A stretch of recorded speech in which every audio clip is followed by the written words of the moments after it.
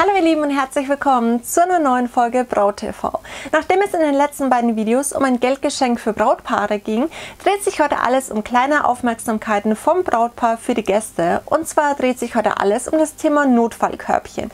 Ich erzähle euch in diesem Video, was es damit überhaupt auf sich hat, packe mit euch zusammen unsere Notfallkörbchen für unsere Gäste und habe außerdem noch Druckvorlagen und Checklisten für euch. Also dranbleiben lohnt sich. Viel Spaß bei diesem Video.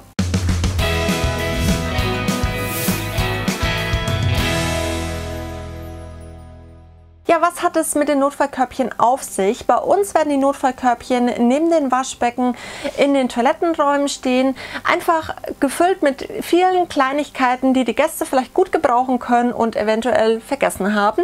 Und ja, damit es den Gästen an nichts fehlt, haben wir diese Notfallkörbchen vorbereitet. Ich war dafür einkaufen und ich bin mir überhaupt nicht sicher, ob ich die richtige Menge eingekauft habe oder ob ich an alles gedacht habe. Deswegen würde ich mich sehr freuen, wenn ihr mir eure Meinung dazu in die Kommentare schreibt.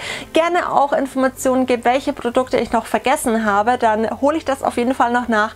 Und ich würde sagen, wir starten mit dem Notfallkörbchen für die Männer. Denn da ist deutlich weniger drin als für die Damen. Da sind mir viel, viel mehr Sachen eingefallen. Aber ich bin gespannt auf eure Meinung dazu. Ich habe das Ganze in so ein Körbchen gepackt. Das habe ich bei Teddy gekauft. Hat, ähm, ich meine, 2 Euro gekostet oder 3.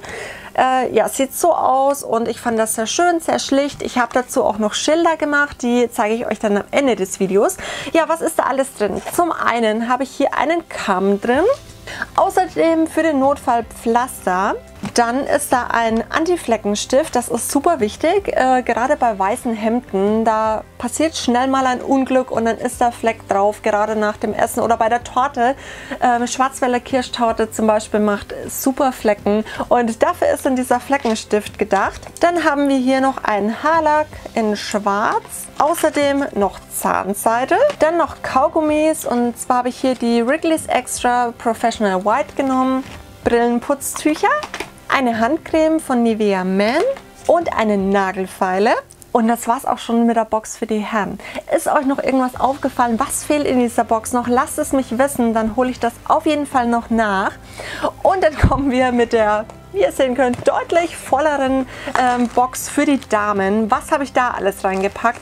Da habe ich Strumpfhosen in verschiedenen Größen eingepackt, von jeder Größe eine.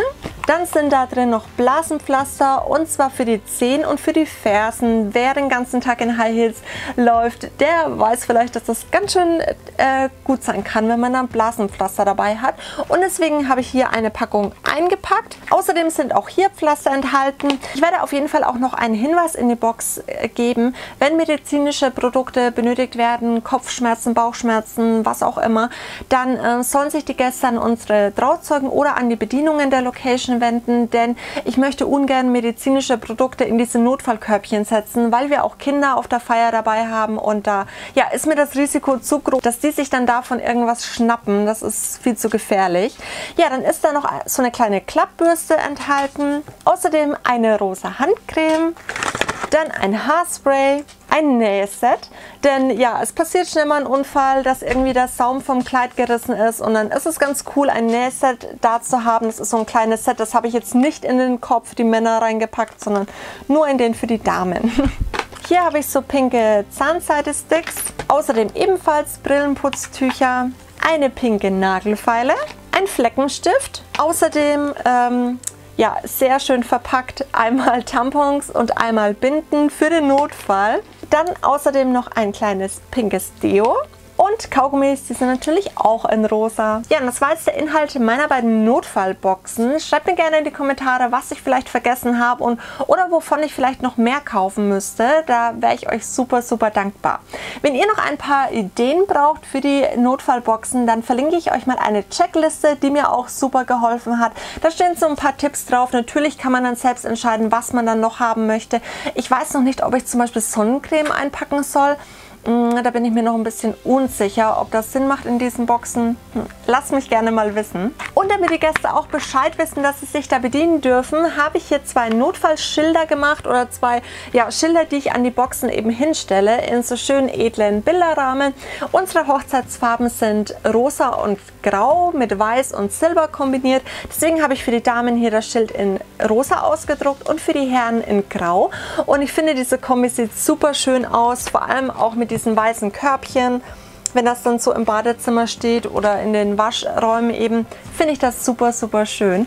Und wenn ihr diese Schilder auch ausdrucken möchtet, dann habe ich eine Druckvorlage für euch. Und zwar sind da 16 Farben enthalten und hoffentlich auch eure Farbe. Den Link zur Druckvorlage äh, packe ich euch auch mal in die Infobox.